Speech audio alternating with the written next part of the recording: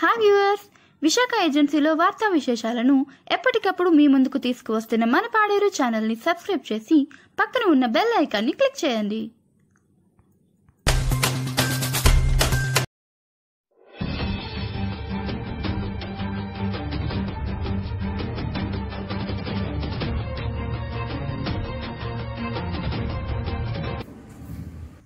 Jio number three రిజర్వేషన్ను supreme court April ఇరవై రెండున రద్దు చేసింది.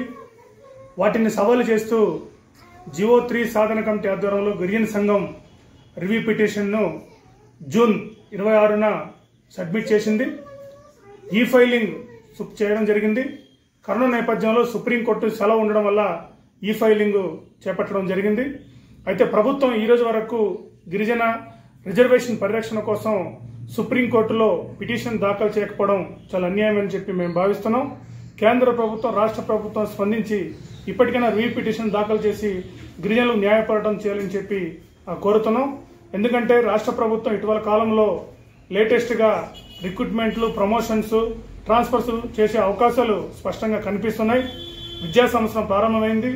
ఈ నేపథ్యంలో గిరిజనులకి ప్రత్యేకమైన రిజర్వేషన్ రక్షణ కోసం ప్రభుత్వం పటిష్టమైన చర్యలు తీసుకోకపోతే గిరిజనులు చాలా తీవ్రమైన నష్టానికి గురి అయ్యే అవకాశం ఉందని చెప్పి మేము భావిస్తున్నాం. అందుకే ప్రభుత్వం ఆ నేపథ్యంలో రివ్యూ పిటిషన్ దాఖలు చేయాలి ఆర్డినెన్స్ తీసుకొని రావాలి ఆ రకంగానే గిరిజన రిజర్వేషన్కి పటిష్టమైన చర్యలు తీసుకోవాలని చెప్పి మేము విజ్ఞప్తి చేయడం జరుగుతుంది. ఇది కాకుండా ఇది రివ్యూ పిటిషన్ గిరిజన సంఘం సుప్రీంకోర్టులో రివ్యూ పిటిషన్ వేయడం జరిగింది.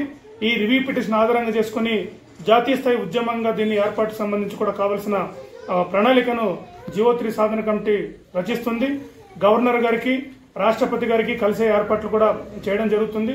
అలాగే గిరిజన ఎమ్మెల్యేలు అందరినీ కూడా కలిసి గిరిజన రిజర్వేషన్ మీద ప్రత్యేకమైన చట్టం తీసుకొని రావడానికి ప్రతిష్టమైన పటిష్టమైన చర్యలు తీసుకోవాలని చెప్పి వాళ్ళందరూ విజ్ఞప్తి చేయాలని చెప్పి సాధన కమిటీ భావిస్తుంది. ఈ నేపథ్యంలో రాష్ట్ర ప్రభుత్వం శాంతియుతంగా ఈ సమస్య పరిష్కారానికి చొరవ చూపించాలి. కేంద్ర ప్రభుత్వం ప్రత్యేకంగా ఐదో షెడ్యూల్ రక్షణ కోసం జీవో నెంబర్ రిజర్వేషన్ పరిరక్షణ కోసం ప్రత్యేకమైన చొరవ తీసుకోవాలని చెప్పి మేము డిమాండ్ చేస్తున్నాం.